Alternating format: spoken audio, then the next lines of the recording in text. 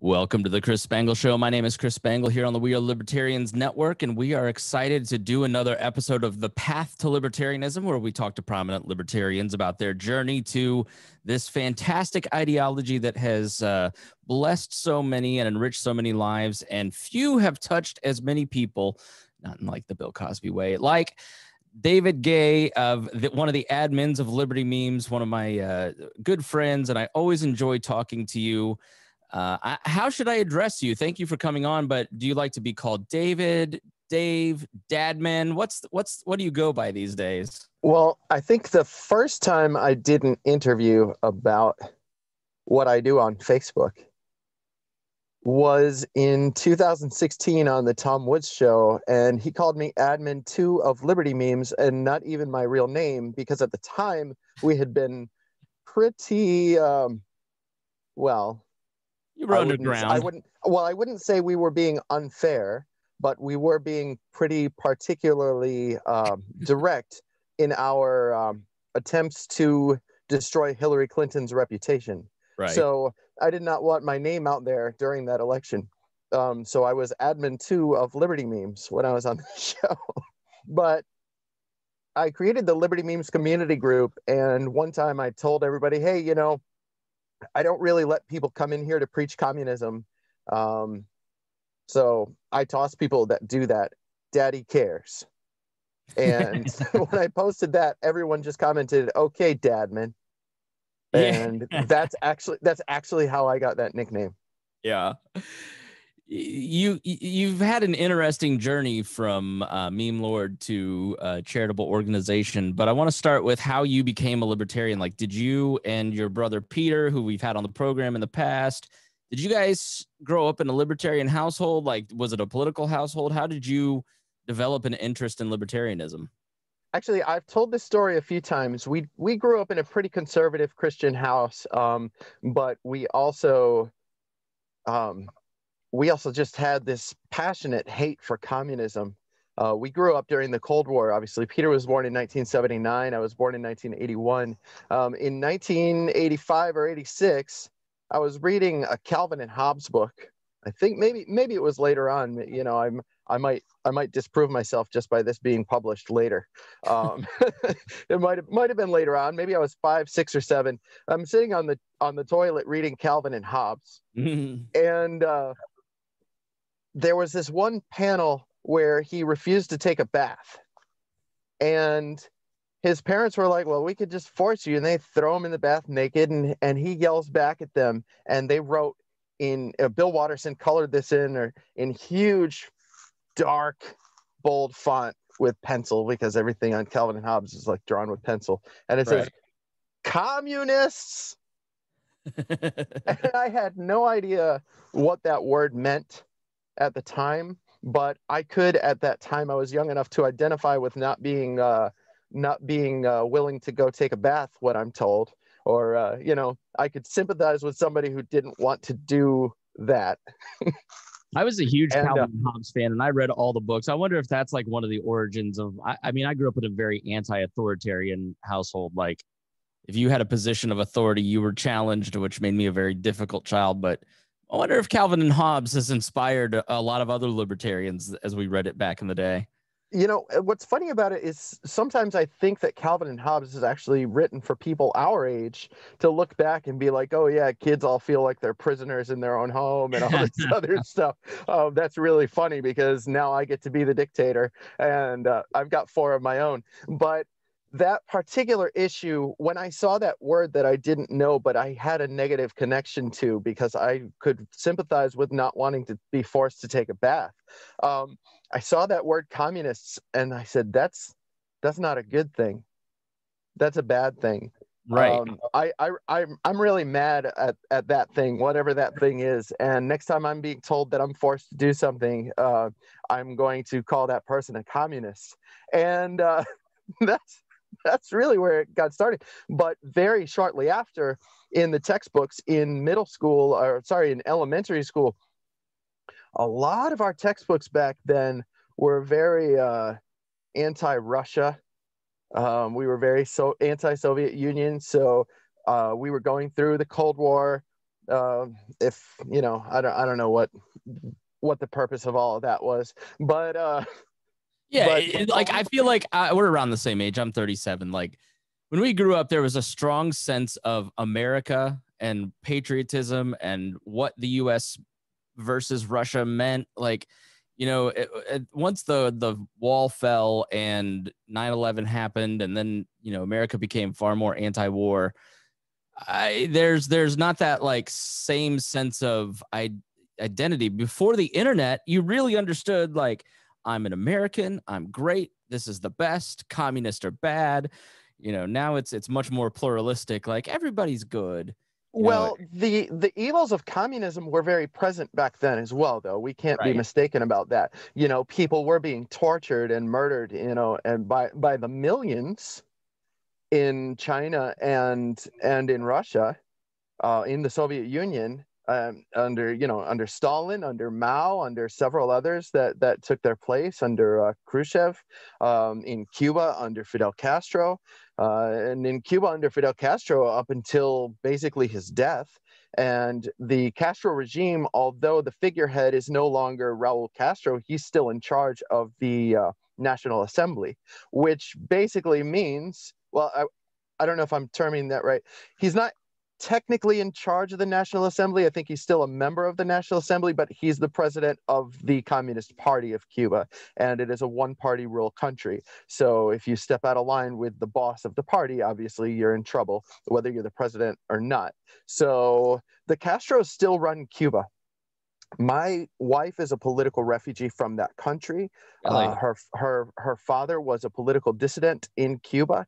And funny thing, we talk about the Cold War and Ronald Reagan and all this stuff, and he was actually in the most trouble because he used to blast the uh, transmission of Radio Free Cuba, uh, which is a U.S. government-backed and Cuban uh, exile radio program that just transmits American stuff straight into Cuba and anti-communist stuff straight into Cuba. And this was back in the back in the 80s and he would crank the Ronald Reagan speeches so the entire neighborhood would hear them. Right. So he I mean this is in an oppressive regime and he wasn't afraid of of the consequences of doing that. He was like, "You guys hear this? This dude is telling the Soviets off." He, hence and, why and, hence why she grew up in America. well, no, no, she did not. She is a political refugee. She came here in 1998. Really? Okay. Yes, my wife is a political refugee. We we actually we only speak Spanish at home. Um, not because she doesn't speak English or because I only speak Spanish, but just out of convenience, I speak both. So actually, Spanish has been my first language most of my life. Interesting. Yeah, people don't know that about me. Um, and to connect all of this, um, in 1994, so she came in 98. In 1994, there were uh, refugees during the raft crisis. It was called the Balsero crisis. And people would basically get on, it was called a balsa because it's basically made out of balsa wood, you know, you know, what you would do in arts and crafts projects. um, it was called balsas because they made these rafts out of anything they could find to get out of Cuba when the Soviet Union collapsed. And the reason they needed to get out of Cuba when the Soviet Union collapsed is because Cuba was a Soviet satellite. Right. And there are actually a lot of former Soviet satellites that are still communist. And uh, they've really got no way around it. They they stayed communist for the convenience of the Soviet Union subsidizing their economies, and once that ended, there was there's just no food. But you know, when there's no food, sometimes dictators get get away with abusing people even more. They can they can starve their enemies to death. Um, but in Cuba, yeah. in 1993, 1994, during the collapse of the Soviet Union, the the fall of Yugoslavia. Um, the Cubans just ran out of food. And they said, if we stay on this island, we are going to starve to death. So we're going to risk our lives 90 miles uh, in the ocean in some of the most treacherous water in the world um, with currents that will take you out into the middle of the Atlantic Ocean or currents that will take you into the middle of the Gulf of Mexico and swirl you around for days until you dehydrate and die. And uh, and if your boat sinks, you'll be eaten by sharks. You'll drown. All these horrible things. You know, children who washed up on deserted islands and couldn't find fresh water would die almost immediately because they would get thirsty and re- and reject their parents' advice not to drink seawater.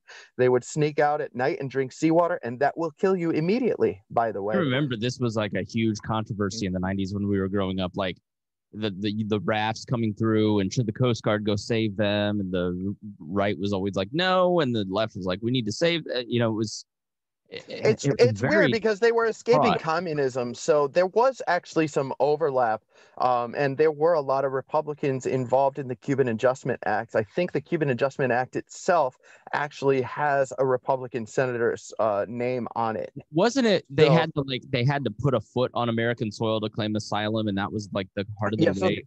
so, so that was a clinton policy called wet foot dry foot.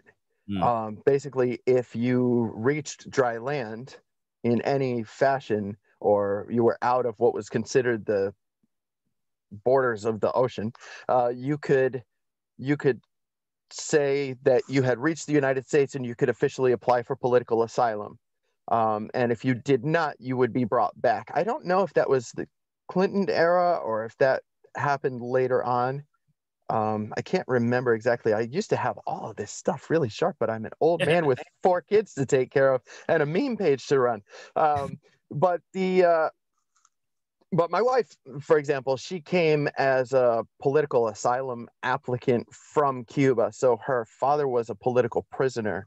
Uh, because of these actions, he was in concentration camps on numerous occasions. And when I say concentration camps, that is what he calls it when he talks about it. This is hard labor. You know, they'll send you to the sugarcane fields and and you know, sugarcane harvest is not easy.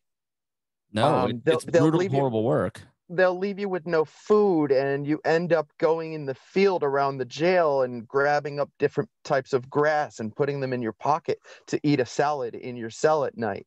Um, and when you get back to your cell there's a guard that tells everybody to turn out their pockets and there's just grass falling out everywhere because everybody's starving. I mean this is the kind of thing that a cuban concentration camp in the late 80s and early 90s looked like Right. So so we, we're talking about only a few years ago this stuff was still going on in Cuba and it's still going on today. So when people talk about, oh, well, they're a softer type of, of communism because look, you can go there and it's a beautiful island paradise. Well, just because palm trees grow there and it has beaches and they have one really, really, really nice hospital for tourists and foreign visitors doesn't mean that it's any stretch of paradise. And mm. communism has done this to these people. So when this generation is like, oh yeah, communism's not that bad. But anyway, the whole point of this is that was my motivation. You know, being kind of anti-communist has always been sort of a, a kind of my gateway to libertarian philosophy. Um, because because we're the anti-authoritarian um, philosophy. Um, but I, in the from 1999 to about 2006, worked with an agency that helped Cuban baseball players escape from Cuba. And mm. I would actually travel around the world inciting the desire to play Major League Baseball in various Cuban baseball players. And several of them, as recently as this week, have admitted that I was their inspiration for leaving Cuba. Uh, there was a live stream of a pitcher for the Miami Marlins, most recently in major leagues for the Miami Marlins. I think he plays in the KBO now in Korea uh, Odrisamer Despaigne was giving an interview about his defection. And by the way, I was I was involved in encouraging him to dis- to to escape, and um, and one of the comments came from a pitcher from his team in Cuba that says, "I should have defected with David in 2002 in Italy." That's crazy. So how did you? How, and like, he tagged me. You, he tagged me on the comment, so I knew that. how did you like, end up doing that? Like, were you? So were you really into baseball, and then ended up like going to Cuba to yes. scout, so, or so, what? So I have a so I have a, a, lot of really fun stories about how I got where I am today. Um, in the '90s, when those raft people were processed, they were brought to Syracuse from Guantanamo. So they would process them at Guantanamo Bay and bring them to different cities in the north where there were emerging industrial markets so that they would have jobs and be able to work in little factories and things, putting together cable connectors or whatever.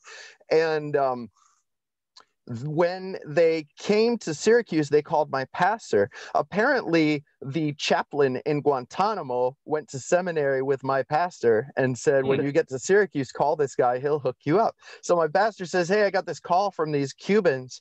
Um, you're taking Spanish in high school, aren't you? And I was like, Well, probably like level one. Uh, first, first couple of well, I knew a little more than that. Uh, actually, I, I knew a, I knew a little more than that because I hung out at the baseball stadium a lot and was already trying to learn Spanish from some of the Venezuelan and Puerto Rican players.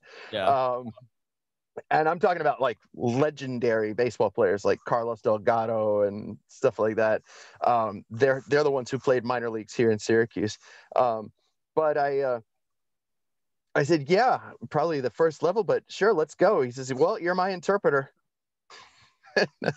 So awesome. and and he actually grew up for the first few years of life in Mexico because he was a missionary kid.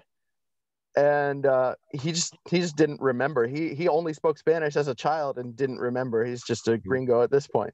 Um, but i went over there and within a few months i was speaking spanish fluently like a cuban. And so i've spoken spanish and sympathized with the cuban community ever since way back then 1994 and uh, I met a few famous Cuban baseball players on their way through the minor leagues. We became friends. And then I found out that an agency in my area was actually involved in some of these people's escapes. And so I called the guy up and I said, Hey, I'll come work for you because uh, I speak Spanish like a Cuban. I'm already in the Cuban community. I already know half of these ball players. So he's like, All right, get your passport. We're going around the world. That's so. Great so i ended up eventually through that little spy work i uh, you know we would like send micro notes to people inside of a pen and say oh, if you mm-hmm. want to defect give me a call and wrap it inside of the ink and put it back inside of the pen and hand it to them ask for an autograph and say keep the pen and go read it in the bathroom things like that. It's like literally just like that bridge of spies stuff and it was like so it's cool. a lot it was a lot of fun uh, I guess it paid the rent, but I didn't really become extremely wealthy at it. But I did inspire a lot of people to reject the Cuban communist sports system. And I'm really proud of that because a lot of those people became millionaires. So, how did you, how, if somebody came to you and said, I wanted to defect, what was the process then? Well, you just have to figure out the circumstances. I mean, do you have your passport available? Do you know, do you, do you have access to the visa that proves you're allowed to be in this country for at least 90 days because you're in this baseball tournament things like that it's oh eh, okay so hold on so like so they'd come to syracuse to play like in an exhibition no no no no no not syracuse like italy dominican republic mexico panama okay. So they're Ecuador. in another country, and then you help them just go. We're going to go instead of Cuba. You're going to go to America and claim asylum. No, no, no. Basically, you're going to walk. You're just going to leave your team here in this country and figure out where to go from there. Whether we can get a politician in this country to accept your asylum request or they send you somewhere else most of those countries were friendly to us policy and would not immediately send those people straight back to cuba if they said they didn't want to go. Hmm. so so that was that process. But i ended up on an episode of the cuban version of csi and uh, you know I say, well, their version is a propaganda version for the government, but pretty much every CSI or police show in any country is basically propaganda pop, for the yeah, government. Right. Um, you know, some of the some of this stuff is true. You do have to catch bad guys, um, but the Cuban version has me as some horrible criminal who wanted to destroy the Cuban sports system so that the Americans could get more gold medals in the Olympics. That's so funny. And uh, that's really, really funny. Um, but there's a whole episode that's basically surrounds a phone call that I made to a baseball player. And it also has a letter, one of those micro notes that I had given to one of the players. And it has my full name and signature on it. And you can find it on YouTube. That's so what what's like if I want to look up on YouTube, like what keywords should I use? I'll send you the link, but you would have to speak Spanish. It's called Casa. It's called um, Tras la huella, which means following the clues or following the prints, Uh-huh. and uh, and the episode is called Caso Asedio, and I think on link one of two, it is at about the 16 and a half minute mark, and literally a bunch of communist police officers with their uniforms on discussing how Fidel had told them that and, and how Fidel had given speeches about how these Americans were trying to destroy Cuban sports. And then he says, So I'll show you an example right now. And he puts it up on the board. And it's just like straight, the full screen for a few seconds is just breaking down my letter to a baseball player who happened to be the captain of the Cuban national team at the time. Mm, yeah, my girlfriend speaks Spanish. She's a Spanish teacher, so I'll have her uh, explain it to me. We'll put that in the show notes.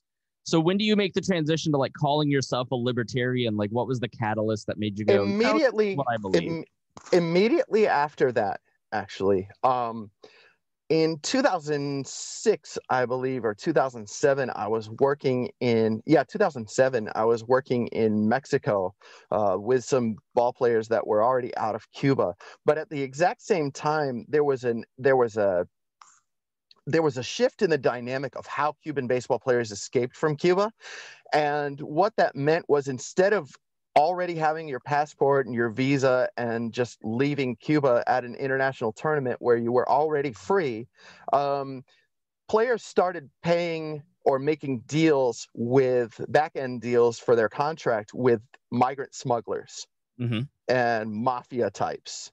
You know, boat people with really, really fast speedboats that you would use to smuggle tons of cocaine.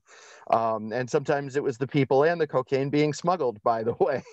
And um, the territory I was in in Mexico was also their territory.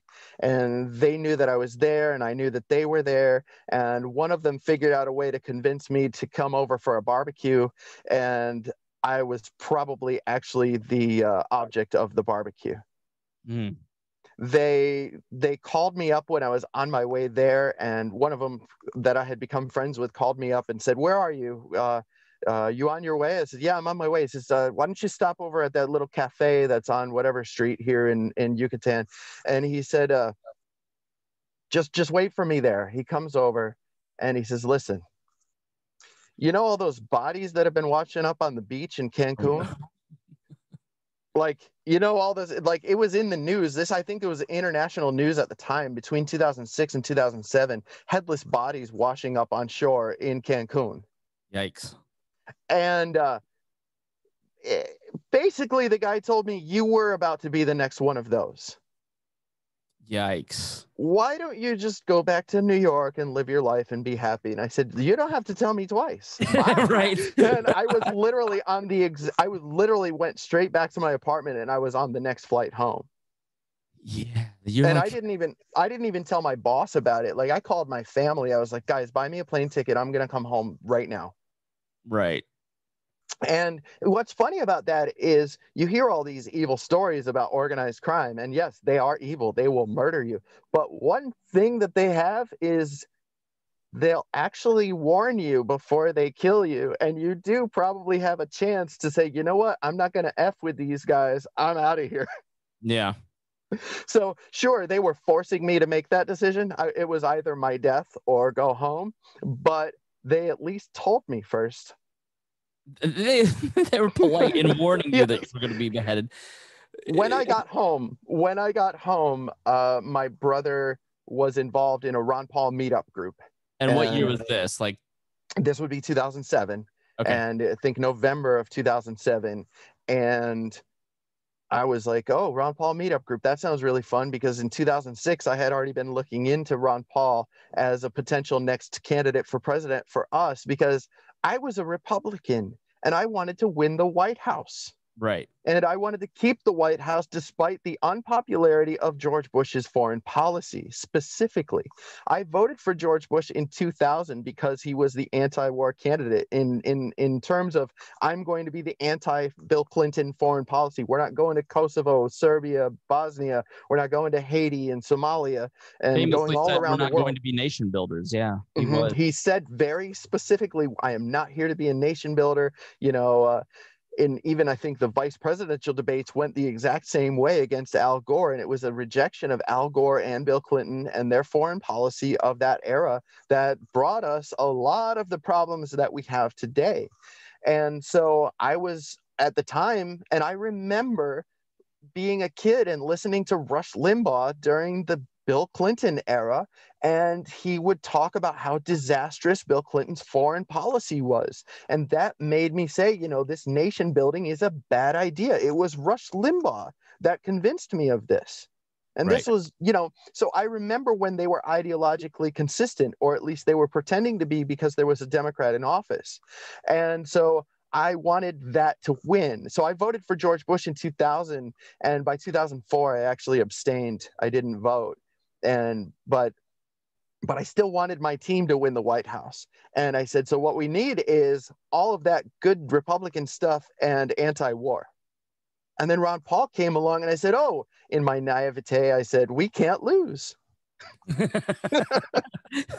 so, so I, I, had I had no clue at the time what politics was really about. But that's November 2007, and by December of 2007, I was already so deeply involved in his campaigns that I was attending a couple of the planning meetings for Tea Party 07, which was the original money bomb. Yeah. Okay. It was like six point six point six million dollars in one day. We set a fundraising record that had that had never happened um, in a presidential election before in U.S. history, and this got like no news coverage. I, I know, uh, believe like, it. Like you think about the numbers, like I think Joe raised like two million ish.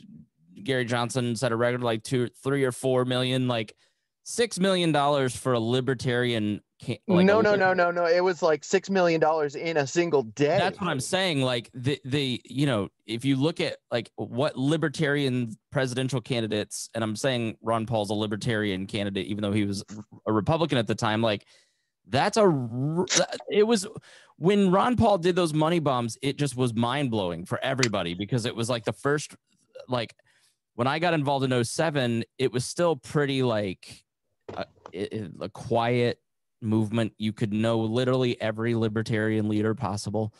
You know, and then when when those money bombs hit, it was like, wait a minute, we're not freaks anymore. like yeah. we have a chance. Well, that is a testament to Ron Paul, who started in, you know, he's been a libertarian pretty much his whole life. Right. Um, I think he actually found libertarianism by working uh, a milk bottle cleaning factory when he was a child. I think he got like a nickel forever, or maybe even just a penny for every single bottle that he cleaned at this milk milk bottle cleaning station.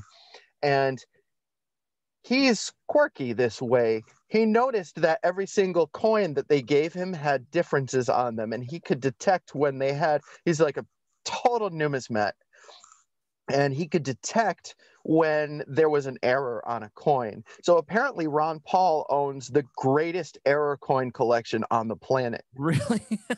and uh, yeah, his his own grandson told me this story uh, at the annual Paul family gathering just uh just a couple of weeks ago at his house, and he's like telling me this story. He's like, yeah. Um, we all know that G-Ron, and that's what they call him. We all know G-Ron's got we don't know where it is, but we know he's got every single coin that he's ever gotten in his life. like, he still has he still has those pennies from the childhood milk bottle story. You're not gonna get the whole. You're not gonna get a hold of my coins, damn it. Uh, well, I think he lost them in a boating accident. Yeah, right. I, I, I want to touch on Liberty memes and how that started real quick because I want to spend the rest of our hour here talking about the charity because that you know, this is airing right around Christmas, and this is wait, really important. Wait, wait, wait, All wait. Right. I love you, but I'm gonna finish this one part. Okay. The testament to Ron Paul's dedication is the fact that since childhood he was a libertarian, and by the 1960s, and people don't know this about Ron Paul, by the 1960s he was already speaking at trade shows for various industries, giving speeches about how getting the government out of their industry would help their industry. Right. And this is way back when nobody would show up at any of these things except a couple of industry geeks.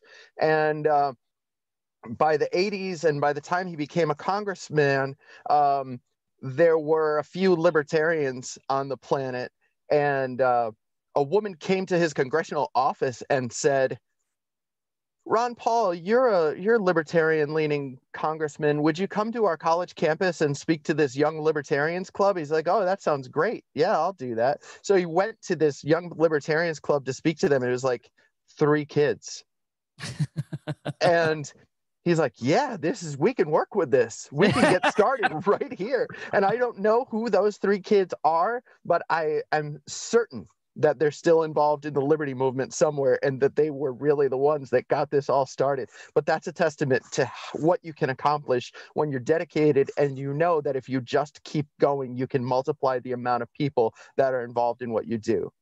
Yeah, his tenacity in and workmanship is really to be admired and really something that when you look back at the overarching history of the libertarian movement like from you know back to Mencken, Meyer, uh, and uh, Albert J. Nock and like the beginnings of it to Ayn Rand to Ron Paul to Rothbard to the Koch brothers and all the Cato tentacles that they built. Like it's a if you look at the 20th century, Brian Doherty's book Radicals for Capitalism is a great overview. Like it's a lot of hard workers who didn't have a lot to work with and we enjoy the work of those people who toiled for a long time, like David Nolan, yes. who started the Libertarian Party in 72. He was watching uh, Nixon. Nolan was a Republican watching Nixon take us off the gold standard and got pissed and founded the Libertarian Party like the next weekend in his living room. And, you know, he was on the national committee when I met him in like 2010 you know he had he had been working for 40 years. Some of these people who show up to libertarian conventions were at the founding. You can talk to people like joe houtman and they just go you kids don't understand how good you have it. Like even you and i back in 2007 like you had to explain what a libertarian was. It's it's not something you you don't have to explain what the word means anymore. It's we're really spoiled by how um, much of a a broad awareness there is of what we believe and what we kind of think and it and we take it for granted. We think oh people don't understand us but it's it's grown so much in the last 15 years. It's really great. Yeah well i tell people all the time that say stuff like what you're saying um, about you kids don't know how good you have it. I say that to people nowadays um, because we were involved when it was still very uh, very grassroots and we didn't we didn't have social media when we did the ron paul money bombs i want yeah. people to understand this in 2008 or 2007 when we did raise 6.6 million dollars in a single day for ron paul we only had meetup.com yeah I mean, that was literally how how it operated. Uh, uh you know, the, so it's it's getting better. It's getting like I kept a list of all the libertarian podcasts. It's still up at libertarianpodcast.com. And like in 2013, I literally could write out the list. I mean, there were when I put that lit first list together in 2012, 2013, like you, you, there were a hundred, and there's way too many for me to keep up with that anymore. Like that's the cool thing is that there are a lot of people who are starting their own shows. They're starting their own. They're seeing what you have created, what I have created, what other people have created, and they're doing it themselves, which is awesome because then that just uh, gets it gets people thinking about how to communicate libertarianism easily, quickly, in a fun way, makes them better communicators, expands it to their circles. You know, so you really with liberty memes, like it, there's a couple top tier, like first in libertarian meme pages. You know, being libertarian, I would say, is one of them. Um, we we're up to 100,000 likes on the back of memes. But Liberty Memes was just like I, you guys blew up to six hundred thousand likes well, before we, you got. we were the well, we were the pioneers. Yeah. I, I I say that very confidently that me and my brother were the pioneers in libertarian meme game in as far as like making it making a page go huge, you know, finding a way to consistently spread only the liberty message through memes. And we don't do that anymore. Every once in a while, we'll pepper in just something absolutely absurd just because it gets likes and views. Um, but we there's a lot more to what we do nowadays. But we were involved in Ron Paul's campaigns. We will say his name a hundred thousand times in this conversation simply because that's part of our origin story. Um, in 2012, when his presidential campaign was over, we wanted a way to continue our activism. And we had already been making memes for his campaign. And Peter created the page. He created Liberty memes, and we just consistently posted the stuff that would spread the Liberty message, and it just started getting shared. Yeah. By a thousand people, then 10,000 people, then a hundred thousand people. And a couple of our shares even reached a few million. And by 2016, you know the story. By 2016, we were pretty harsh to Hillary Clinton, and Facebook didn't like that. And it wasn't really bad. It was just a innocent statement, obviously, because she was innocent as well, right? Um, it's uh, it was this picture of Hillary Clinton with a smug face, and it said, "Silly Americans, laws are for poor people," and that struck a nerve with everyone in the whole freaking planet. Um, sorry, I say in instead of on because Spanish is my first language. Um, because this was the day that the FBI had announced that they planned to announce what they were going to do with Hillary Clinton, and that was nothing. Right. And this meme went around the planet before people even had a chance to see the FBI make that announcement. So it made news before the evening news cycle. And that really bothered the people who wanted to control the narrative. Mm-hmm. They wanted that story to be hey, the FBI said she's clean. Your allegations are unfounded. Bye. Right. Which we've seen them do nowadays. You can't talk about what happened with Bunter Hyden um, or any of those things. And so, you, so you know, like, you're so so, right in that. them. Like before 2016 memes were like advice animals. They were bad luck brian they were simple they were like corny dad jokes. 2016 was really like it's why it's called the great meme war of 2016 and the great meme war of 2020 did not live up. I did not think that the memes were all that great but like there was something special. Partly was it was because trump was so unique and funny and different. And then there was also like a peak in the world of memes where everybody had gotten so good at certain skill sets over the last like three or four years that by 2016 it was just like everybody's like oh i'm going to apply this to politics. And memes uh, now are the main way to control public opinion. Like if you look at all these big outrages of you know let's look at the big things covid the election blm and protests like people think in terms of memes and what their memes say, not in terms of in-depth articles that the New York Times reports. And 2016 was the origin of that. I think you're totally right. Like, and I hadn't really thought about it like that, but 2016 was like the beginning of controlling public opinion with memes. Am, Well- am I right in that? Well, I will tell you, you are right. And there's more to that story. And it starts with the boys from Liberty Memes. Mm-hmm. In 2013, I was running for city council and I had been endorsed by Ron Paul. And even we even made a hokey little video and I'm like talking about the Constitution or something. It was all nice and corny and all really good libertarian stuff. Anyway, I was running for city council and my campaign relied on a lot of memes to talk about what my opponent, the current the current city councilman, had been up to. And we even we even had a very public issue that we just absolutely destroyed the guy on. And most of that was based on memes, the way we did it. Um, and my campaign manager, who was also a Ron Paul supporter at the time, in 2013, he learned my strategy. He ended up, and I don't know if it's current or it was halfway through this current term, but he ended up working in the White House as Donald Trump's charged affairs over social media. Right.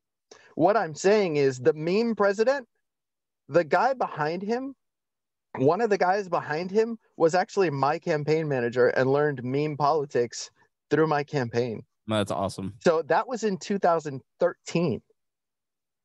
Now, mind mind you, at the time I was still a registered Republican and still trying to win public office under the Republican Party name. And so Peter was already going off with Liberty memes, and I was using my political campaign page with memes. But I didn't want the two worlds to collide uh, too quickly because Peter was already getting really, really, really deep into anarcho capitalist territory. And uh, that scares a lot of Republicans. and so Peter, your brother is kind of like a pipe smoking intellectual in my mind. You know, yeah, Peter, he, that's precisely what he is, and he's got a philosophy degree from Covenant College in in Georgia, uh, in down there in Chattanooga, in Tennessee. I, I say that because it, it's basically in both states. Um, but Peter, yeah, Peter was posting all this stuff, and he was like, "I don't care what people think. This is our philosophy, isn't it? I'm just going to post everything that that lines up with what we what we believe here." So he was doing that, and I was kind of scared. And and even at events, so I was a speaker at the the Young Americans for Liberty State Convention, and even at that event, I was afraid that those I was like, I didn't know just how deep into Republican territory y'all would be and I even knew that their founder at the time, Jeff, Jeff Frazee, had been deeply involved in Ron Paul's campaign. So I knew that, but I wasn't sure if the whole organization was geared toward Ron Paul Republicans or if it was trying to just be Republican light. I just couldn't tell. And so at the registration de- desk, one of their leaders was looking at Liberty memes on his laptop and I was trying to keep it quiet that I was the guy from Liberty Memes. And I walked by the desk a few times and I'm like, man, he's really going to town on Liberty Memes. And I sit down next to him and I was like, hey, um, you know, I'm a speaker at this event. You invited me because of my activism and this other stuff I'm involved in. But I'm also one of the admins of that page. Me and my brother co-founded it. And he's like, mm-hmm. no way, no way, I can't believe it. And this is back in 2013 or 2014. I can't remember which, but he's like, oh, no way, I can't believe it. And this is like telling everybody. And then by that time, I basically told the world, yeah, I'm an ANCAP. I'm the guy who runs, I'm one of the guys that runs Liberty memes. And, yeah, and, and it was really popular. There's something, and I think about those days where, especially in the early days of memes, you kind of go, should I post this? I don't want my reputation to suffer. My grandma follows my Facebook page. You know what? There's something liberating about giving up that idea and and not worrying about what other people think and I'm just going to post it and some of that may have gone too far and we haven't checked ourselves well, too well but like I mean there I'll is something you, liberating about that. I'll give you a rule for that though because Liberty memes grew because we were able to reach everybody not just libertarians. Yeah and we were able and I guarantee you, and I can promise you, I have received thank you notes from more than a thousand people that say, Thank you, Liberty Memes, for slowly bringing me around. And now I'm full on libertarian. Right and this was with a memes page. We were someone's reason to look into libertarianism and become one because they saw a meme that they weren't sure why it resonated with them. They disagreed with it, but they weren't quite sure why it felt like it might actually be right. That's and, I've had I've had the same sort of success with high school friends and normies. Normies like me better than libertarians, like because I post I'll post Christian memes or slice of life memes and then libertarian memes. And then over a period of like five years, people go, man, you know, those memes made me think. Like it is more effective than people realize. Yes, it is. So we built a huge audience. We were abused by Facebook, all this other stuff. But in 2018, in March of 2018, I said, We have this huge audience. And I had also been a speaker at a lot of rallies, like gun rallies, liberty rallies, uh, speaking at college campuses. Peter and I spoke at the Libertarian State Convention in Texas in 2016 as well. Um, I really liked doing that. I really liked doing stuff in the real world other than just posting silly pictures with jokes on them. And so I created the Liberty Memes community group in 2018 in order to have a direct line of communication and organization with our page followers that actually wanted to be involved in libertarian action. And so we started that and it got really big really quick. That's what she said and see That was a good one. It but, never uh, goes away. Uh, well, we're, really, we're perpetually 14. That's that's what she said. And so, gosh, what is wrong with us? So the Liberty Memes community group, um, the boys from Voluntaryism in Action, which I think is an offshoot of the page Being Libertarian, which grew up alongside Liberty Memes. We we were the like the original share for share along with like a libertarian and i think libertarian girl and things like that and your page we are libertarians and we grew up doing a lot of that share for share and built our audiences that way and back when the algorithms wouldn't stunt us when that happened it would actually show the algorithm that we were more popular because big pages were sharing us too so mm-hmm. back then we could really rely on the network. Anyway, they re- they reached out to me because I had this huge group and they said you've got a lot of reach and a lot of popularity in this group. We're trying to help a little girl get a kidney transplant. Mm. Could you help us with the fundraiser? And I said, "Yes, I sure can. This is exactly why I created this group to do things like that."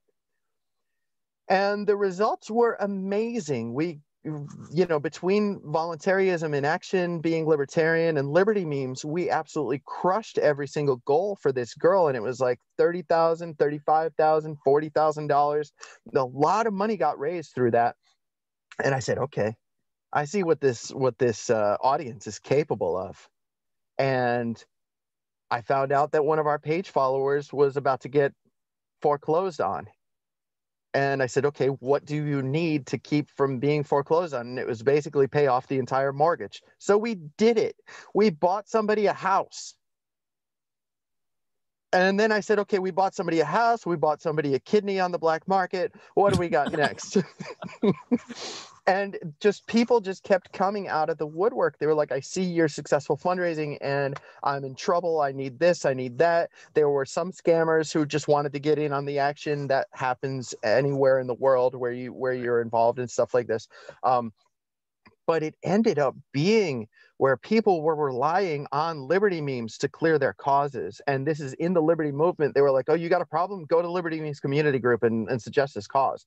Uh, but we had not devised a system for how we would triage these. So they would come to us, and if it seemed legit and it seemed really, really like they needed it or it was a really bad cause, you know, some bad situation, we would just put it out there and say, all right, we're donating to this and we're donating to that other thing and this other thing. We reached like 20,000 people. So we had the audience to sustain it to be able to give like all 20, those. Yeah, I remember going like 2019 ish to the group and it was just cause after cause after cause after cause. It was awesome to see because, like, in my mind, that's the fundamental premise of wh- how libertarianism will work in the absence of a welfare state. Well, people that who humans humans see other humans in trouble and rush to help, like that empathetic system that that we we really need to focus on because that's that's how people are going to get helped in in the world. Well, that system itself gets crushed by socialism. Mm-hmm. Uh, socialism, communism is a system that teaches you that you need to rely on the government for these things. And when the government's not there for you, something is unfair in life. Right. And so when we grew up, and I don't fault people for this way of thinking because when we grew up, most of us were in public school. And in public school, what is the lesson? The lesson is if you need to mail a letter, go to the post office. If you need to get a letter, wait for your mailman. He's such a great guy. He's there in rain or snow or sleet or hail. He's here to deliver the mail. And if you have a problem, go to the police. If your house is on fire, call the fire department. If you if you've got a problem at home, talk to the teacher, guidance counselor. If somebody is doing something bad to you at school, go to the school principal. All of these things are government solutions in a government building, and that's what we're raised to believe in. So yeah, I understand at- when they say, you know, in a home ec, they're like, well, if you get to a situation where your family really can't afford things, go down to the welfare office, get yourself Medicaid, Medicare, get yourself uh, food stamps and Section 8 and all these things. So it is culturally acceptable in this country to be a socialist, even though we don't call it that. And so when you and this is this is across the board there is no difference between a republican district and a democrat district in terms of acceptance of socialism in this country so I can't go around the world. It's not good enough to go around the world telling everybody you're a socialist and that's bad and that's why everything's bad in this country because you're a socialist and don't you see what socialism does? And they say no, uh, socialism pays my rent. Uh, socialism pays my food stamps. They don't call it that, but we call it that. And it's like the meme of this lady screaming at a police horse. You've seen the meme. Uh-huh. She's screaming like uh, she's just angry at this horse. She's just screaming some rally slogan at it. And it's just got this look at his face like, lady, why are you yelling at me? I'm just a horse. And so when libertarians are online just laying into anybody that doesn't agree with them and calling them you statist a-hole, you know, just going to town on them and being especially cruel because you're the reason that my life sucks. You're the reason we're not free because you're blind and you haven't woken up. It's like that is no good. That does not get anyone to your side. And Spike Cohen actually reminded me of the ancient uh, phrase nobody cares what you know until they know that you care. Right. Why aren't we reaching people on their level in their world? So that's what I try to do with Liberty memes. When I fund a cause, I don't care if the person is a Republican or a Democrat or a Libertarian. I'm just trying to help somebody to prove that Libertarian theory that if the government were gone, we would pick up the slack. Right. So in terms of the welfare state, I think it's the greatest thing in the world that now we are proving it. So I'm going to get to this. Liberty Memes has helped raise over a million dollars in just a couple of years for people's causes. And what happened was, and you just you said it, that the group was loaded with cause after cause after cause, but a lot of people were just there for memes. Right. They're like, oh, right. this is a meme group, and I'm going to get to see a lot of memes and harvest memes from this place. And it didn't turn out that way. But there is also an, and I would tell anybody that complained, I said, we post memes every single day, and I approve dozens of posts that are memes as well. Why don't you check the group image gallery because it's got like 20, 30,000 memes in it.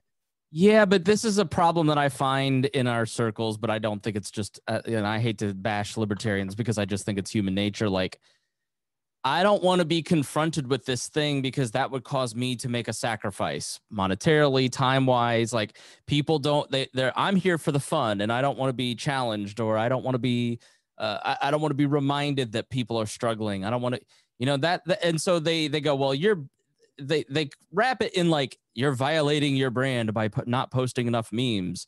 Yeah. Like, no, we're here to we're here to help people. That's and I'm sorry that that's uncomfortable for you. Like that that to me is how I always read that stuff when I'd see those comments in there.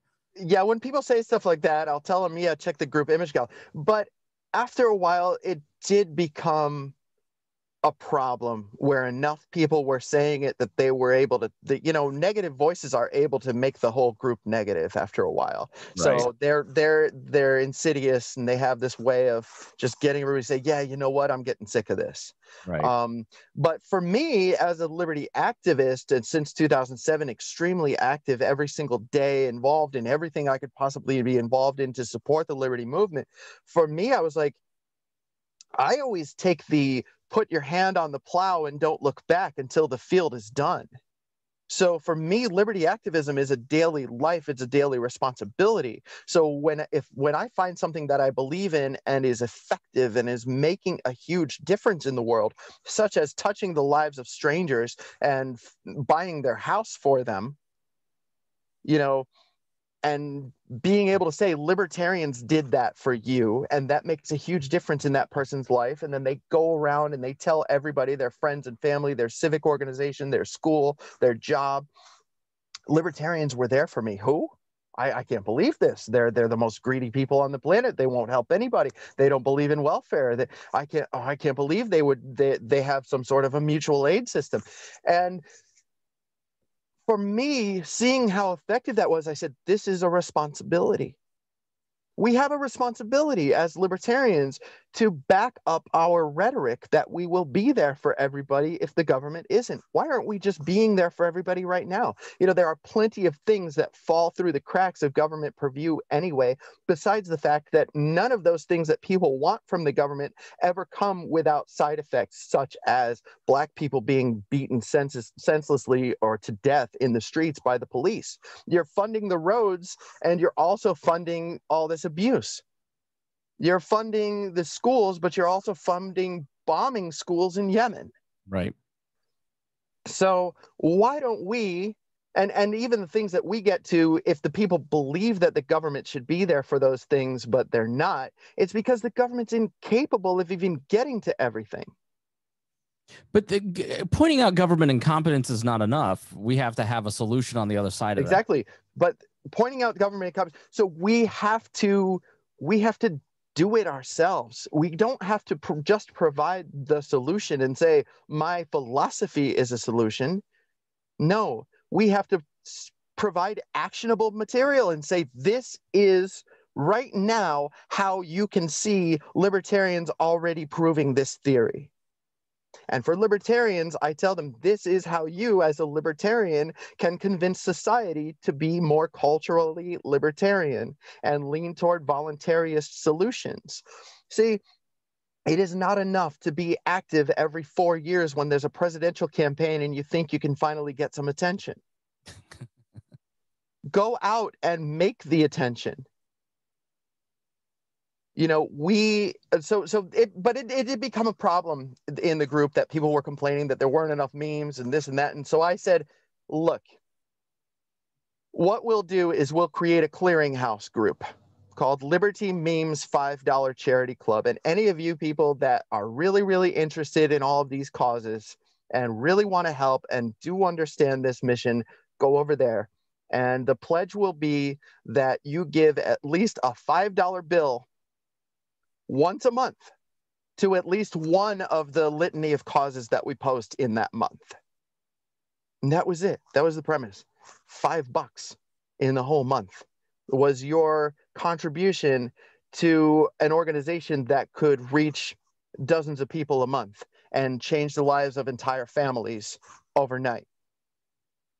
And so, how didn't you like you I remember looking at your Patreon at one point, and it was like one of the biggest on Patreon at some point. I mean, well, so we were in the we were in the top 500 in the world among about 160,000 Patreon accounts. Yeah, it was crazy. So is that so that $5 club is that when it really took off? Just I'm going to create a mechanism, we're going to fund it through Patreon and then No, no, we don't we don't fund it through Patreon and I I feel okay. the I feel the responsibility to elaborate very clearly on that issue because. Patreon is a monetization mechanism. And so Patreon exists for me and my brother to get uh, to get some sort of compensation for all the work that that we put in.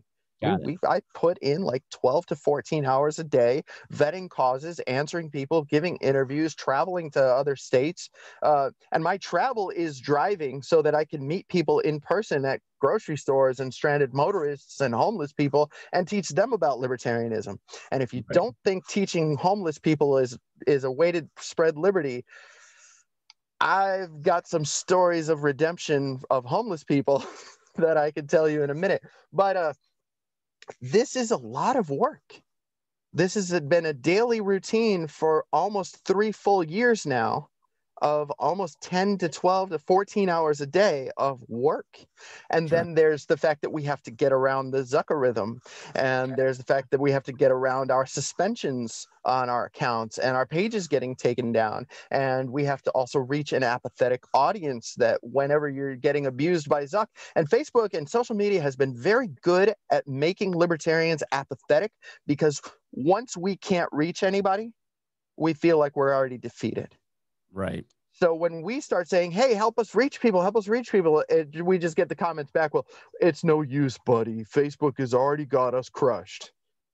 I know it's the, the, most negative group of people I've ever been around, and I I love you and what you're doing because it gives me hope. like despite all of that, that, you get, dis- yeah. Despite all of the abuse we get on social media and all the things that marking our donation links as spam and all the amazing things that that, that you know that we're trying to do, and Facebook jumping in and saying, "Not so fast, buddy." Um, despite all that, that group has only existed since October of 2019. So that's only one year and basically one month. And in 13 months, that group has funded fully 85 causes. And those 85 causes directly impact entire families. And those 85 causes total $325,000. Wow this is money that went directly to somebody in need. So we had a situation, for example, and, and, and $325,000 in a group of only, and because Liberty Memes Community Group may have 23,000 people, but Liberty Memes $5 Charity Club only has 3,000. And mm. it only reached two and 3,000 because of Spike Cohen and Tom Woods and Larry Sharpe. and hopefully now your, your, your podcast. Um, it only reached that because we were, I, I drove to other states so that I could meet with those people so that I could tell them our stories and they would put me on their podcasts. I mean, this, I'm talking about driving from Syracuse, New York, all the way down to Houston, Texas, twice. Once to talk to, to MC a rally for Spike Cohen, and another time to be at Ron Paul's house so that I could talk to Tom Woods. Wow. That's and cool. This is road warrior stuff. And on the way, I met with homeless people. I met with supporters of the page. I met with libertarian leaders, with party activists, because my message is it's not enough to be active every four years when there's a presidential campaign or just to be involved in politics. You, with a $5 pledge, could make a huge difference in our culture in this country outside of the political sphere just by donating to a GoFundMe and commenting on that GoFundMe, libertarians are here to help.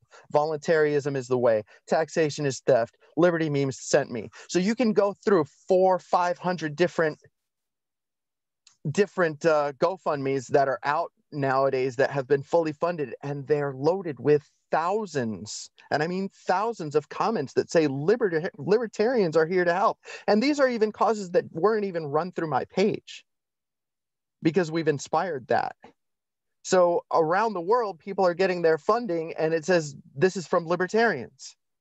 So, so how this, does it work? So if I join the five dollar group, I pledge as a member of that group to give five dollars towards a cause you select, or yes. walk me through the process. Yes. Yeah, so so causes come to me from the Liberty Memes main page, from Liberty Memes community group, from our private group for patrons, which I, I try not to spend all my time just circling the wagons around our own people because we do want to reach other people. Um, but causes come to me from all these different places. But I also feel a duty to take care of our fellow libertarians because fellow libertarians should be prosperous if they're active contributors to the liberty movement. I don't think that uh, that it's good for our movement for people to be evicted from their home because then they can't spend time on liberty activism.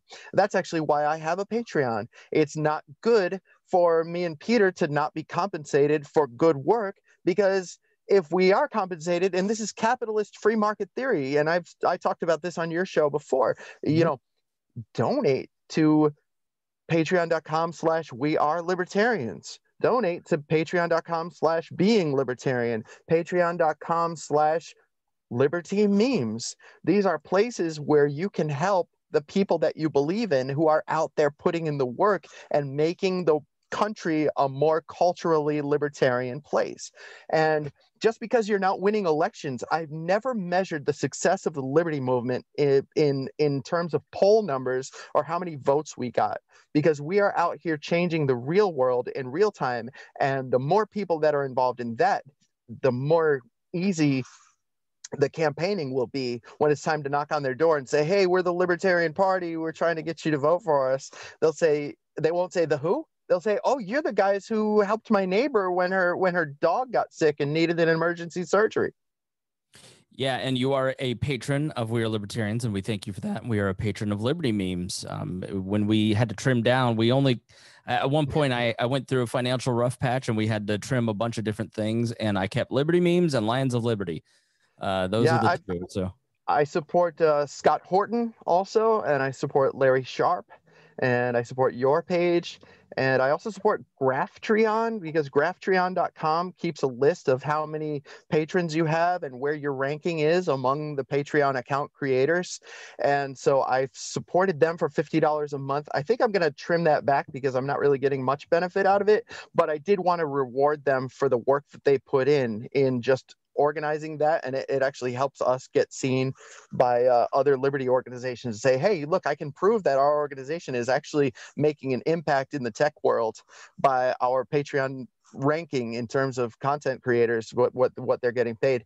And so so uh yeah that's an important thing. Compensation for really good work is i mean just incentive and reward it, it's a good thing I, I don't I don't see whether that's anything bad in in, in th- but we have taken a sizable chunk of that money as well. And I'm talking about upwards of $50,000 and put it straight back into these causes to lead by example.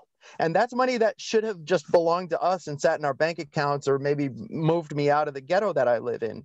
But instead of doing that, I said, this needs our help and people aren't donating right now i'm going to lead by example. Here's a $500 splash on this person's gofundme things like that to lead by example to say hey let's get going. I'm willing to put my skin in the game.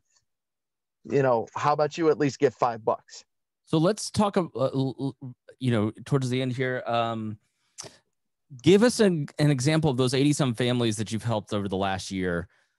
Give us a couple success stories okay. So we had one. I mean, I could tell you one for any day of the week. There was one just last week. She said that she was broke and couldn't afford her rent or her bills or something like that. That's usually the case. And that meant that she was also going to miss out on Christmas for her children or for her grandchildren or whatever it was. And we said, all right, we're going to do your fundraiser here's the amount of money you need to put on your fundraiser and put a little extra on there so that you've got a little wiggle room for for discretionary funds outside of just your regular bills. And also do me a favor and create an amazon wish list for everything that you need. Actually this wasn't the christmas it was a woman who was a uh, she's permanently disabled and she's just freaking poor. Hmm. I mean, and this is a case of a lot of people in America, and people just think, oh, well, you live off of your disability check or welfare or whatever. And sometimes it's just not that easy. There's other things in life. It's just a single woman. She doesn't have any dependents. So she doesn't get a lot of food stamps or anything. It's just her. And she hadn't bought new clothes in, in maybe a decade. She's wearing the same clothes for at least five, six, seven years at a time. And I told her, do me a favor, don't just put things that you things that you need like immediately on your Amazon wish list. Don't just put deodorant and shampoo and, and razor blades. Why don't you pick out some clothes? And add that to your Amazon wish list. You know, how, how did you how did you meet her? Who who did she direct message you? Did you were you brought she, to her? She heard about what we were up to, and she found a way to message absolutely everybody involved so that she could talk to somebody because she was desperate. And that's the thing. We can take someone who's been desperate for years because nobody is there to help and nobody's going to care no matter what happens and suddenly they come to liberty memes and we're like hopefully this is something that's in our power to do. Because i have to reject maybe 20 out of every uh, for every one cause we we have it's 10 15 20 causes that we have to reject just because they're not feasible for us to get to absolutely everyone because we're just one small group and we can only really do one cause at a time unless they're really, really small goals and we're just buying a holiday meal for 10 or 15 people all at once. And we'll post all of their donation links all at once and all of their Amazon wish links, wish lists all at once. But, uh, but we, we, people reach out to us because they know that we care And if we're able to, we fund it. If we're not able to, we try to give them advice on how to run that cause as though they were us.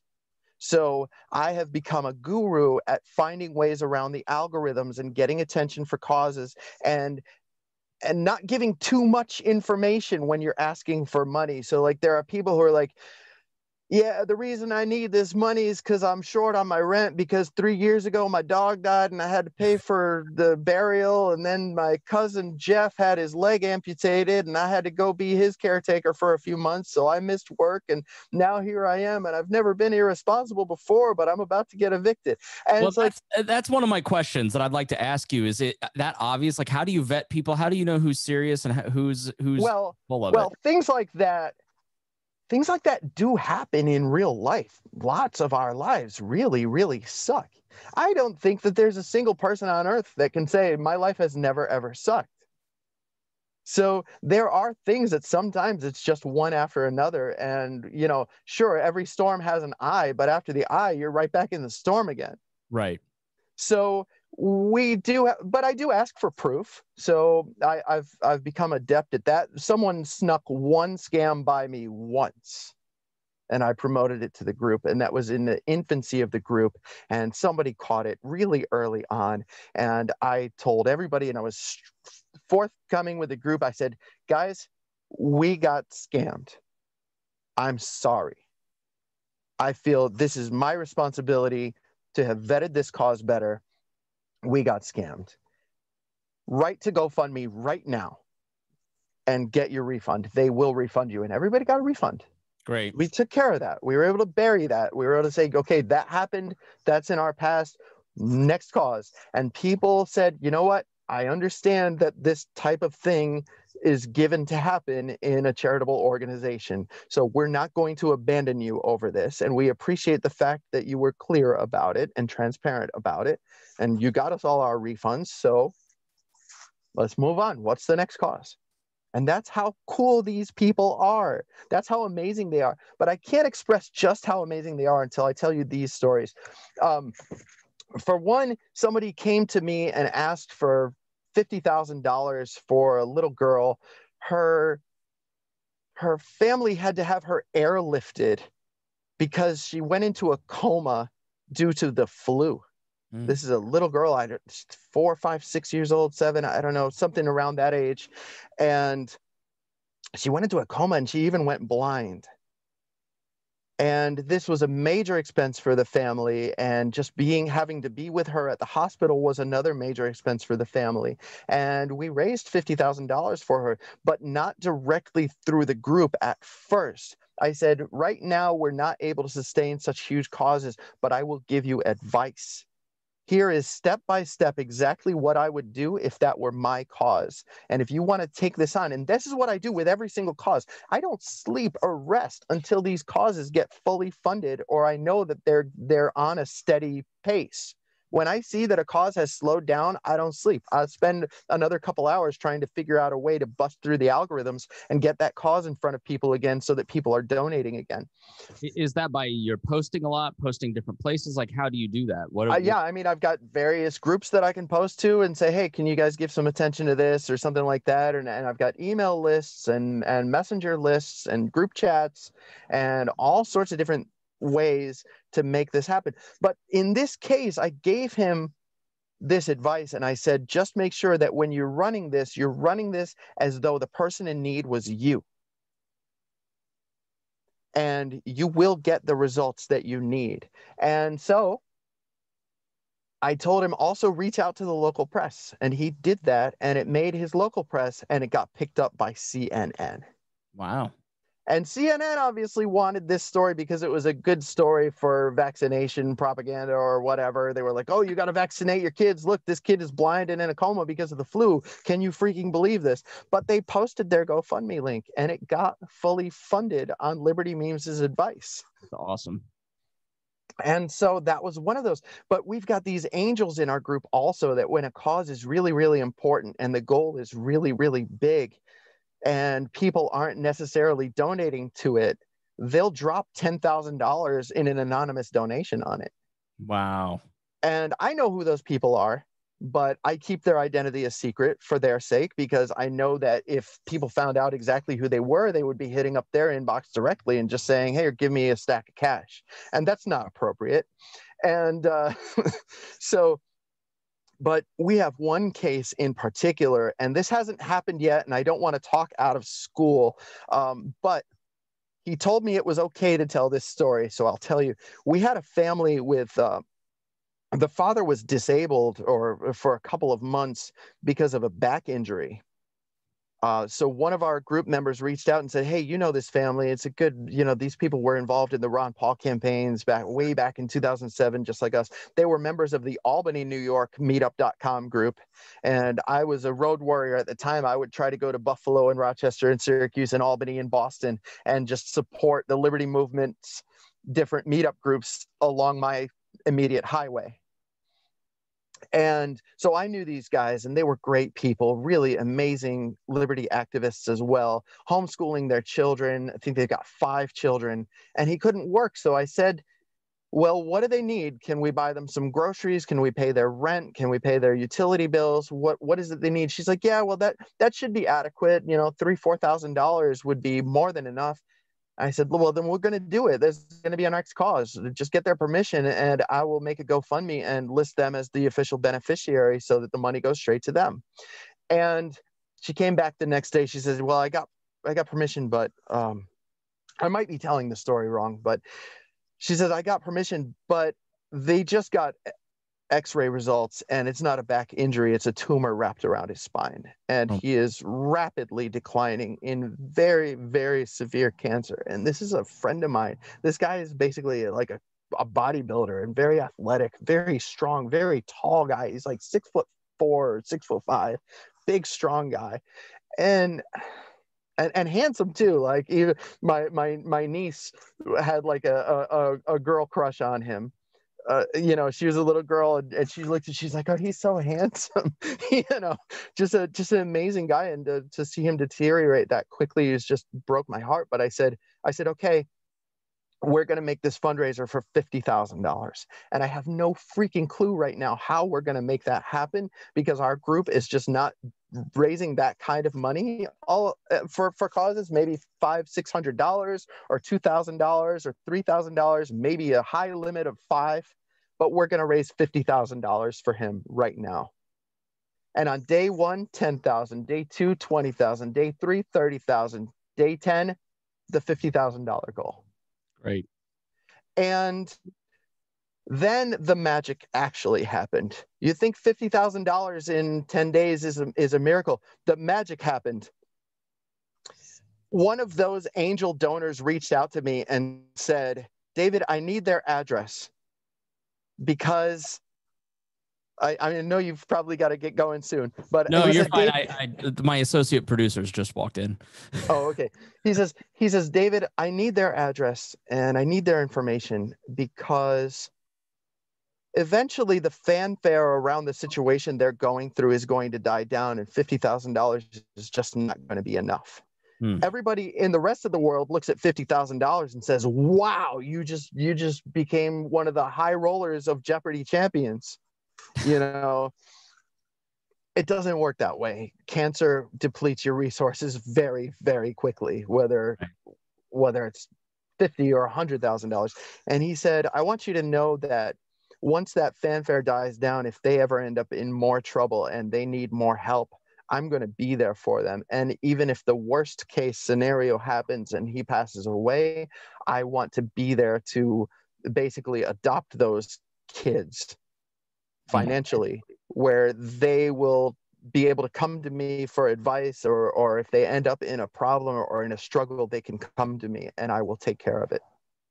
I mean, this is a person with the resources, so I know that he's he means it and i've seen him do it before.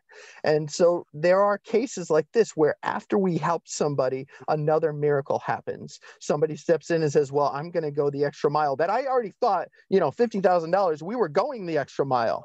Right. And we are we don't know it in the liberty movement. We are the freaking league of extraordinary gentlemen. We have so many people with talents and resources, and we don't know how to use them. Yeah, because I, we've got this guy who comes up to us and says, "I'm going to adopt that family for the rest of those from the rest of their childhood."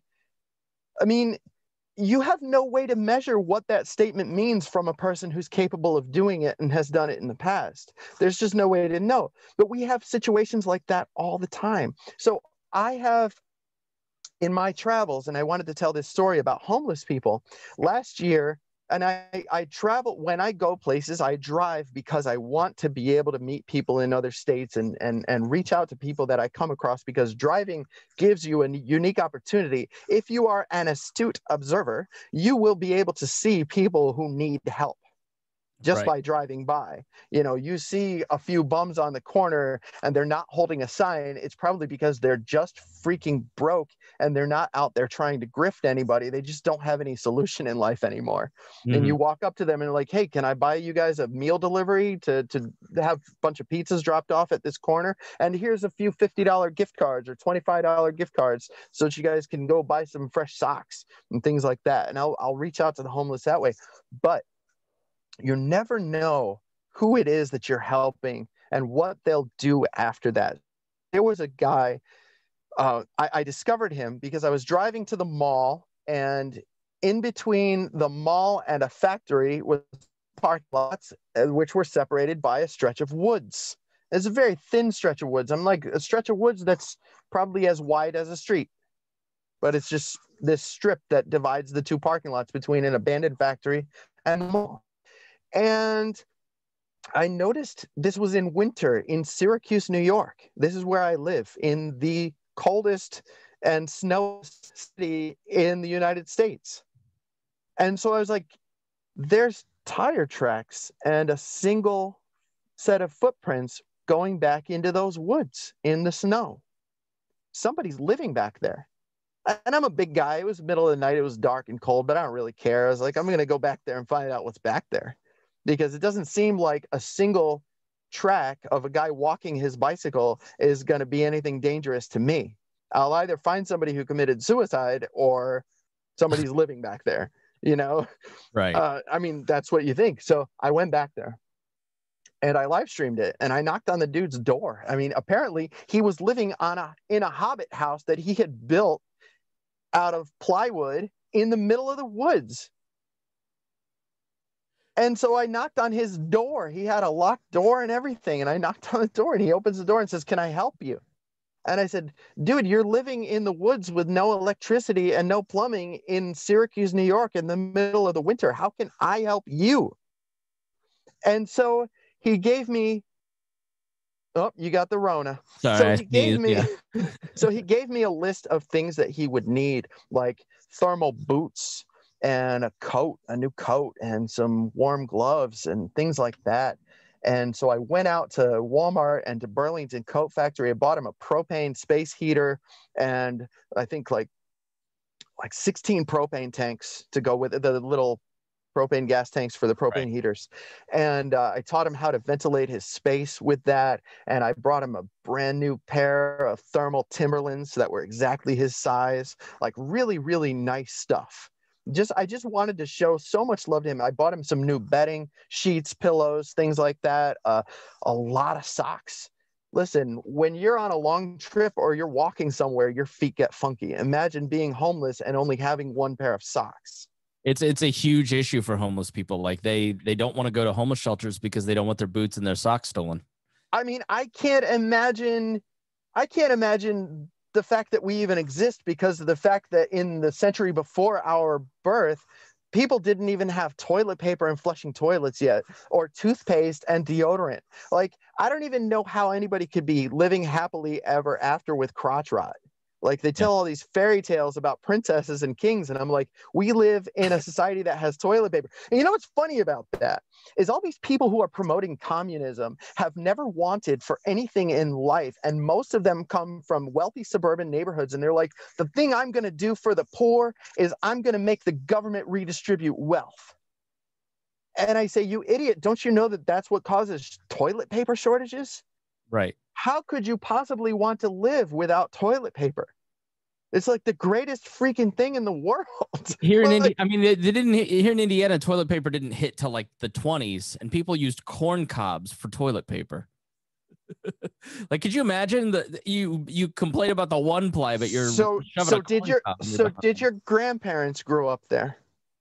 Uh, my great grandparents did. Yeah. Your great grandparents grew up in that, and yeah. you exist. They I decided. Knew I knew my great grandparents. They died in '97.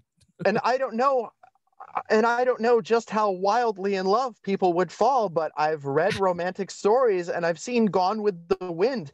People, ha- I mean, people still had sex and still kissed each other and still, and everybody was funky. I think about that all the time. Had, like and had crotch rot. Napoleon like, crotch rot is the worst thing on the planet. Napoleon had won a war or a battle and was on his way back to France, and he wrote to his uh, wife. He said, "I'm on my way back. Don't wash." And I'm like, "Oh, okay. That's a different okay. culture. That okay, is a different love, culture than ours. Okay, I love how we got off on this really dirty tangent because we're libertarians and nobody can tell us what to do.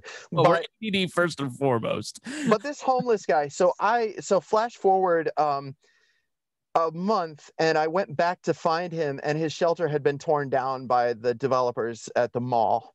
Um, and he had been evicted from that space, uh, apparently to me.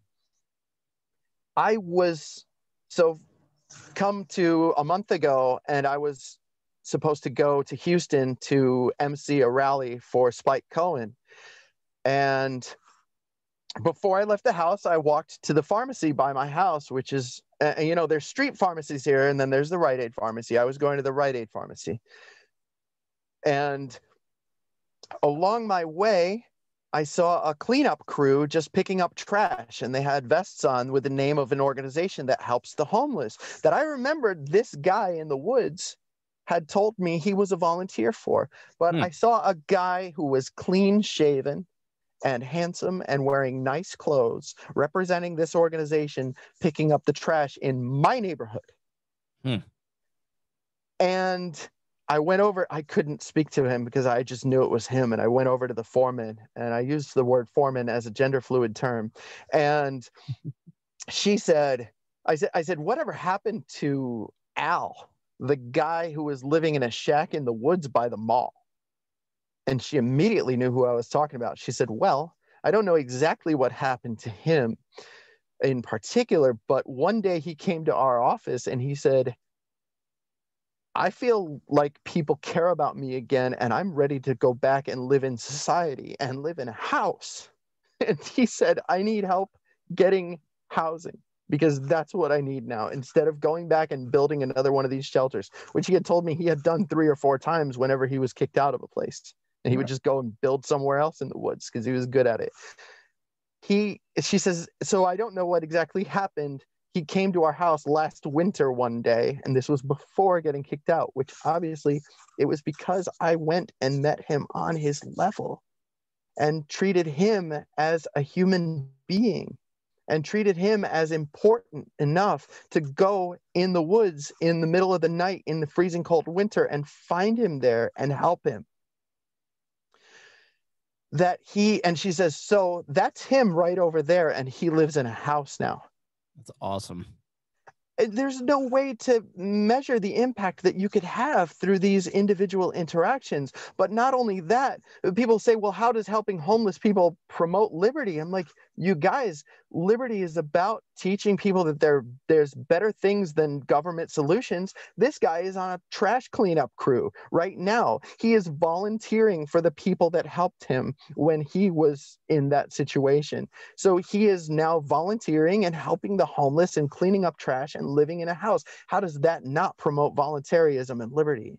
I mean, that's that's the definition of of why I do this stuff because I know that any single person could be inspired to want to change the world in a positive way that way to volunteer and the more volunteers we have on this planet the more we can help so we've raised $320,000 in a group of people that's not even active not everybody's active. It's like 200 people are active on any given cause. And with only 200 people being active on any given cause, uh, and only maybe 500 total being active in a month, we raised $320,000 in this group where the pledge is you're just going to give five bucks a month to one of these six, seven, or maybe even 10 causes that are posted to this group every month.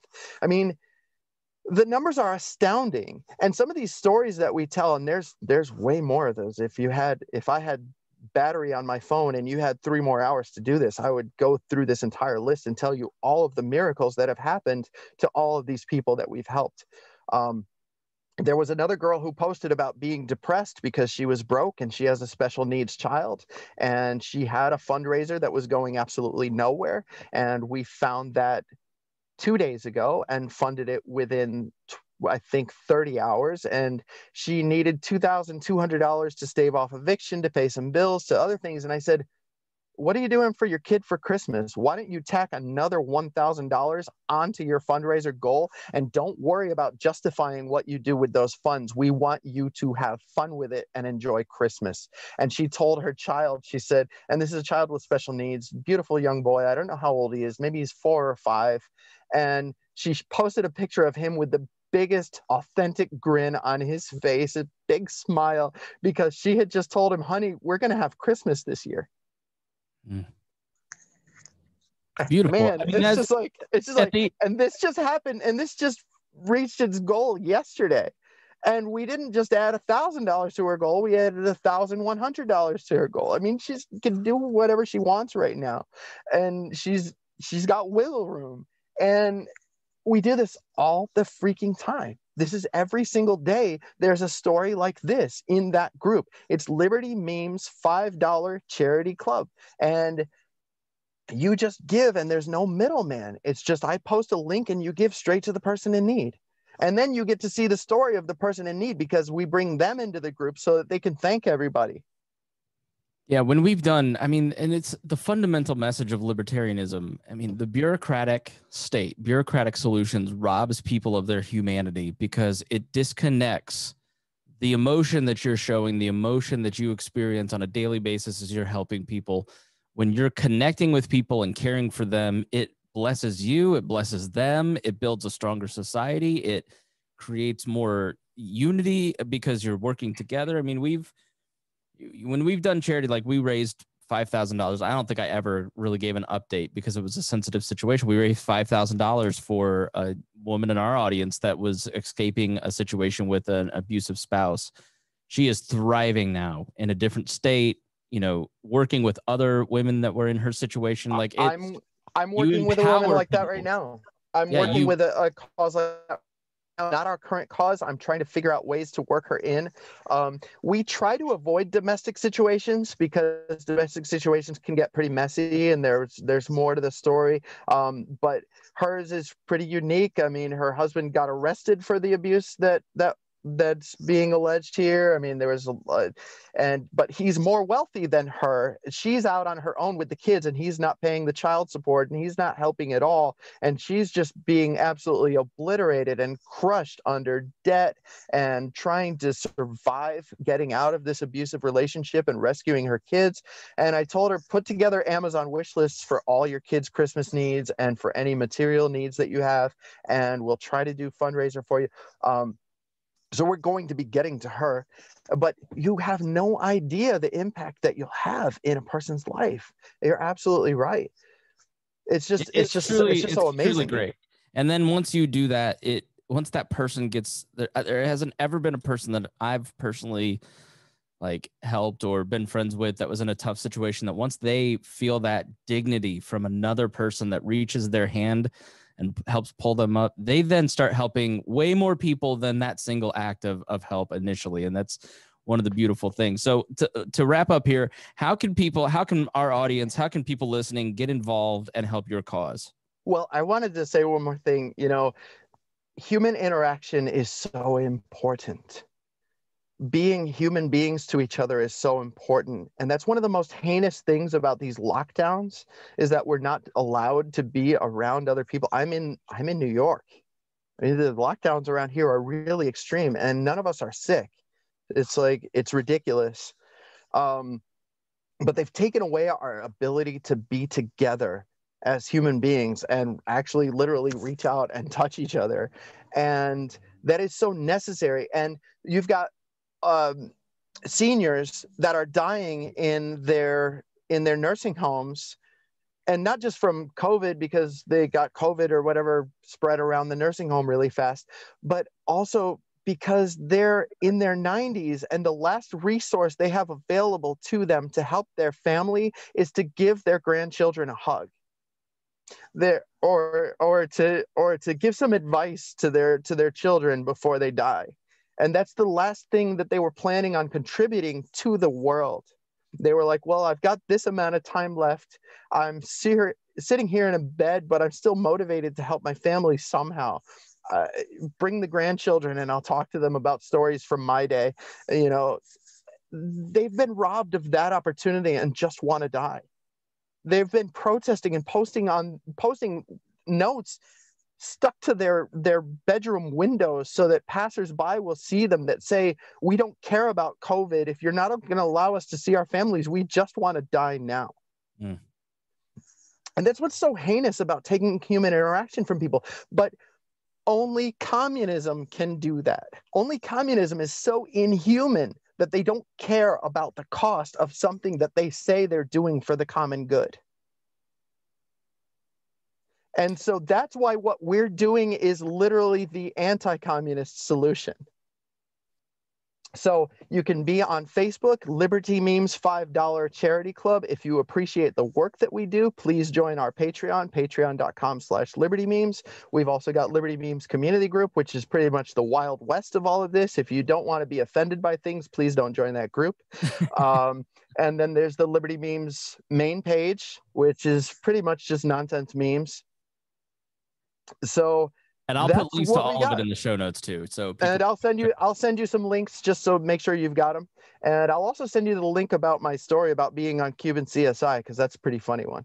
Oh yeah, send me the links and I'll put them in the show notes. David, thank you so much for coming on. It's been so great to talk to you, and I love everything you're doing, and and hope we can partner together to to help amplify uh, your causes a little more the, the pleasure is mine. I want to tell everybody who was involved in political campaigns this year if you want your job to be easier and you need something to do right now during your downtime, come over to Liberty Memes $5 Charity Club or start something like this on your own. Be involved in stuff like this, and your job will be a lot easier in convincing people to support liberty ideals in the future. Couldn't agree more. Thank you so much. And thank you for listening to We Are Libertarians, and we will talk to you soon.